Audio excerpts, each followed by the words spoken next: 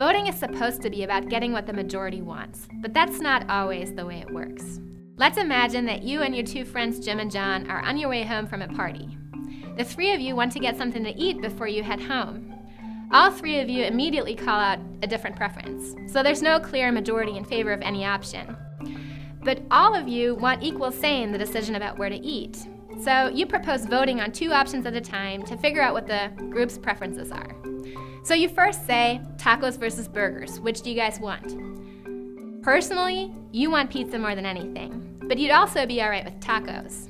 Burgers sound awful right now. So you vote tacos. Jim, he votes burgers. John votes tacos. So tacos are the clear winner. But since pizza wasn't even on the table for the last vote, you ask for another round of voting to see how pizza ranks against the current winner. Your friends agree. In this new matchup, tacos versus pizza, you obviously vote for pizza. Jim also votes for pizza. John's left is the only person who would prefer tacos to pizza. So pizza appears to be the new champion. You're thrilled. But now Jim's not happy. He says, That's not fair. We decided that tacos went out over burgers and pizza wins out over tacos. But how do you know there's not a majority in favor of burgers over pizza? We never voted on that. You counter, That doesn't matter. We already voted on burgers. But Jim doesn't budge, so to make him happy, you agree to have one last vote burgers versus pizza. You, of course, vote for pizza. Jim votes for burgers like you expected, but now John also raises his hand in favor of burgers. So, burgers are declared the winner. What happened?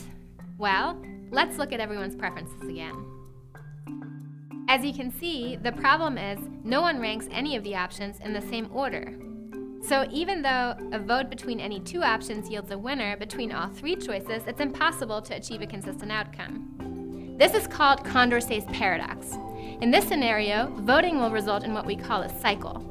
So after voting on two pairings, you may seem to have a clear answer, but if you change the order in which you voted on the pairings, you'd get a completely different result.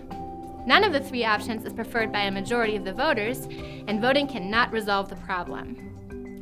If you're surprised by this, let me take you one step further. The fact that any outcome may be possible implies that whoever gets to decide the order of the options is really the one who picks the outcome. This person is called the agenda setter. If the agenda setter is savvy, and if he has any inkling of the relative preferences of the other voters, he can change the order of voting to achieve his preferred outcome. If you'd been savvy, you would have made the last vote tacos versus pizza, and you would have gotten what you wanted. But would that have been fair? The Condorcet paradox shows that taking a vote will not always select what the majority prefers. In fact, when an agenda setter manipulates the voting process, he's the one who will decide what the group does.